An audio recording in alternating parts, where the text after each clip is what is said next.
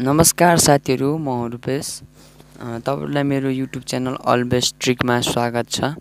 आज हामी तपाईँहरूलाई पा कसरी पकाइन्छ भन्ने बारेमा देखाउन गइरहेको छौँ।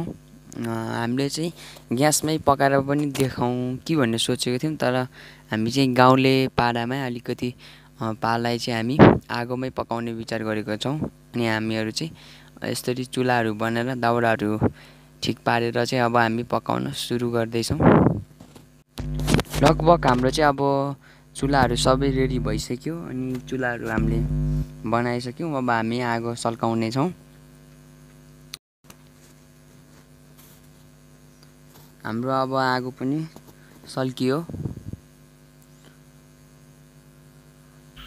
हाम्रो कति मजाले आगो सल्कियो। अब हामी कराई नाप्नेछौँ।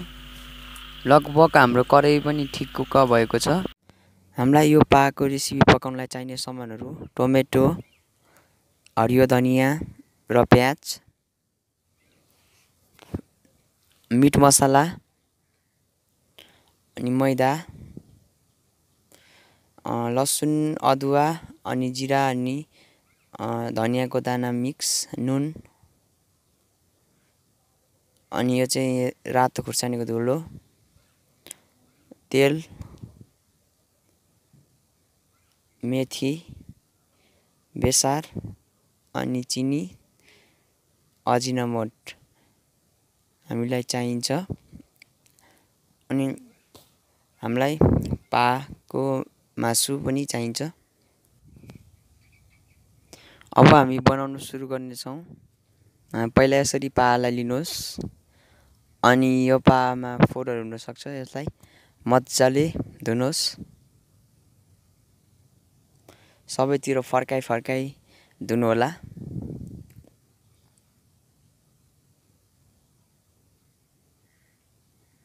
यो चाहिँ चिप्लो हुन्छ। त्यही भएर यसलाई चाहिँ अलिक समाउनु गाह्रो हुन्छ। तपाईँहरू पन्जा पनि युज गर्नु सक्नुहुनेछ।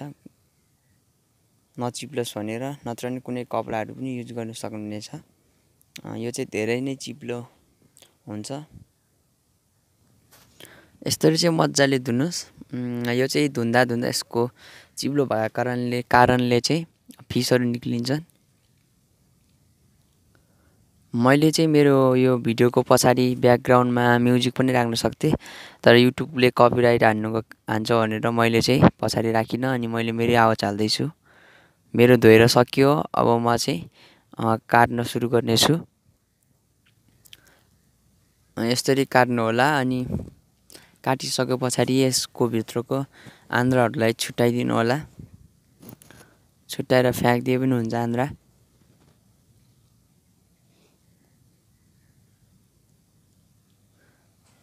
यसरी चाहिँ यसलाई फोडेर आन्द्राहरू निकाल्नुहोस्।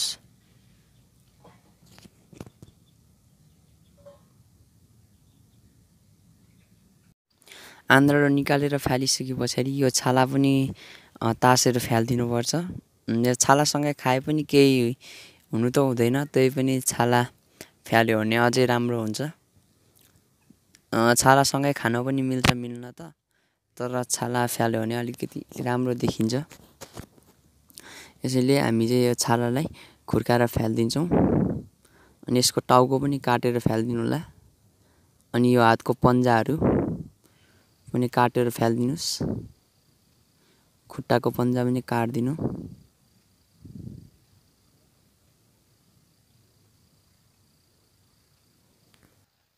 यसरी काटिसकेपछि चाहिँ बेसारलाई हामी पानीमा घोल्नेछौँ। पानीमा मजाले घोल्नु होला अनि बेसारलाई पानीमा घोलिसकेपछि यो पालाई यसरी चाहिँ मजाले मिची मिची राम्ररी यो बेसार पानीमा पखाल्नु होला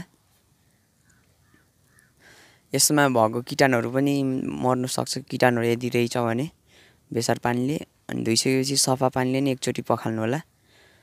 अनि पखालिसकेपछि यसलाई पिस बनाउनु सुरु गर्नुभयो हुन्छ।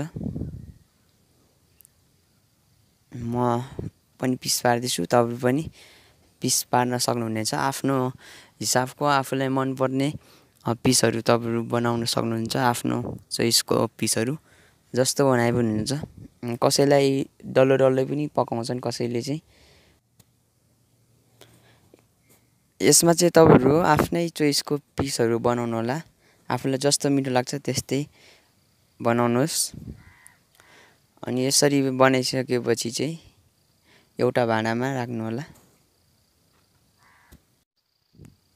एउटा भाँडामा राखेपछि पानी राख्नुहोस्।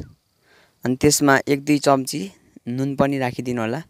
अनि फेरि मजाले एकचोटि मजाले मिचेर सफा गर्नुहोस्। अनि सफा भइसकेपछि मैदा राख्नुहोला मैदा माथिबाट छर्किनुहोस् अनि फेरि यसलाई मजाले मिच्नुहोस्। मैदा राख्दै मिच्नुहोस् धेरै पनि नहाल्नु होला मैदा। ठिक्क हाल्नु। मैदा आफ्नो हिसाबले राख्नु सक्नुहुनेछ। अनि मैदा राखिसकेपछि यो अदुवा लसुन अनि धनियाँ र जिराको मिक्स पिसेको पेस्टलाई राखिदिनु होला। मिट ग्राम पनि लाई पनि राखिदिनुहोस् मिट ग्राम मसलालाई। अनि त्यसलाई हालिसकेपछि मजाले मुछ्दै चिनीलाई पनि चमचबाट राखिदिनु होला। धेरै नराख्नुहोस् एक चम्च आधी चम्च जति राखिदिनु होला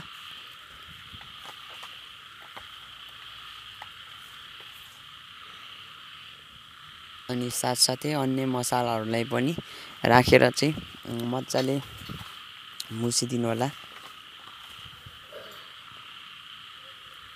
जति मजाले मुस्नुभयो त्यति नै राम्रो चाहिँ लाग्नेछ।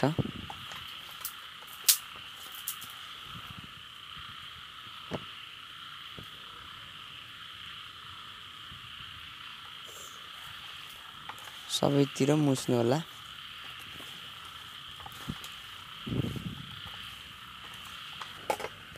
अनि कराईलाई चाहिँ तताउनुहोस्। अनि तातिएको कराईमा चाहिँ ता चारैतिर तेल लगाइदिनु होला। अनि तेल खारिसकेपछि मेथीलाई राखिदिनु होला एक दुई चम्ची।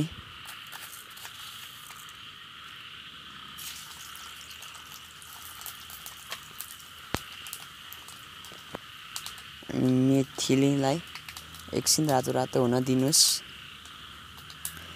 अनि मेथी खा रातो रातो भइसके पछाडि प्याजलाई पनि त्यही मेथीमा हालिदिनु होला तेलमै। अनि यसलाई चाहिँ हल्का चलाउँदै प्याजलाई रातो रातो जस्तो बनाउनुहोस् रातो रातो या कालो कालो जस्तो बनाउनु होला।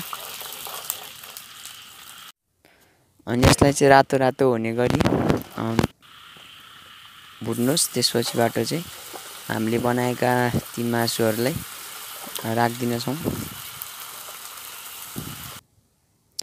अनि राखे पछाडि चाहिँ हामी मजाले यसलाई चलाउनेछौँ।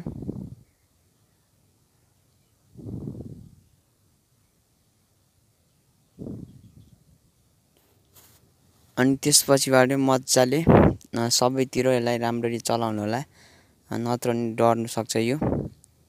नडर्ने गरी चाहिँ मजाले चलाउनुहोस्। अनि अब चाहिँ हामी टमाटर राखिदिनेछौँ। तपाईँहरू पनि टमाटर राखिदिनु होला। टमाटर राखेपछि त्यसमा रहेका ती मसलाहरू राख्न सक्नुहुनेछ। अघि मुस्ता उब्रिएको मसलाहरू चाहिँ सबै राखिदिनु भयो हुन्छ।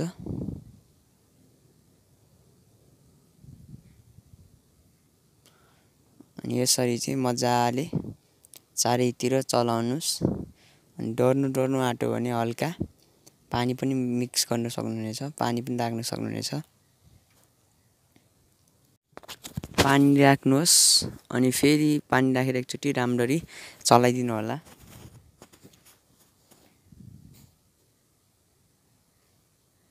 चलाइदिइसकेपछि भकभक उम्लिने गरी आगो राख्नु होला। अनि आगो लगाइदिइसकेपछि भकभक उम्लिनु दिनुहोस्। अनि उम्लेपछि धनियाँ माथिबाट छर्किदिनु होला।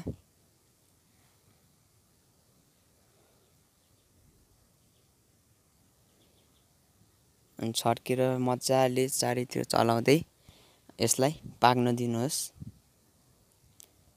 केही मिनटको लागि राखिदिनु भयो हुन्छ एक दुई मिनटको लागि।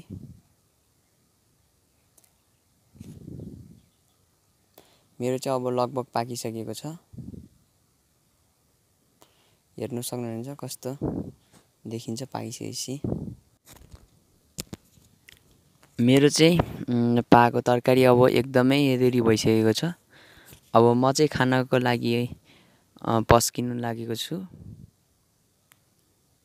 म चाहिँ पस्केर खाएर टेस्ट गर्नेछु। कस्तो भएको छ भनेर। यदि तपाईँहरू पनि बनाउन सिक्नु चाहनुहुन्छ भने यो भिडियोलाई फेरि एकचोटि रिपिट गरेर हेर्नु होला। अनि पा चाहिँ कसरी पक्रेको हो भन्ने भिडियो हेर्नु भएको छैन भने म लिङ्क डिस्क्रिप्सनमा दिइरहेको छु त्यहाँबाट तपाईँहरू हेर्नु सक्नुहुनेछ। मेरो चाहिँ पा एकदमै मिठो पाको तरकारी एकदमै मिठो भएको छ। तपाईँहरू पनि यसरी बनाएर खाने होइन त। यदि खानुहुन्छ भने मेरो भिडियो हेरेर बनाउनु सिक्नु होला अनि त्यसपछि तपाईँहरू पनि आफ्नै घरमा बसेर पाको तरकारी खानु सक्नुहुनेछ। यो चाहिँ मिठोको साथसाथै यसमा चाहिँ बल अनि यसमा चाहिँ भिटामिन लगायत औषधिहरू पनि पाइन्छ। यसै कारण मैले चाहिँ यो पकाएर खाएको हो अनि मैले चाहिँ यो भिडियो तपाईँहरूको सामने लिएको र तपाईँहरूलाई पनि बनाउन सिकाउँ भनेर भिडियो रेकर्ड गरेको सब्सक्राइब गर्नुहोस् मेरो युट्युब च्यानल अल बेस्ट ट्रिकलाई अनि त्यसको छेउमा आएको बेल आइकनलाई क्लिक गरी अलमा थिचिदिनु होला। किनभने तपाईँले मैले हाल्ने कुकिङ सम्बन्धीको अन्य भिडियोहरू सबैभन्दा चाँडै हेर्नु पाउनुहुनेछ।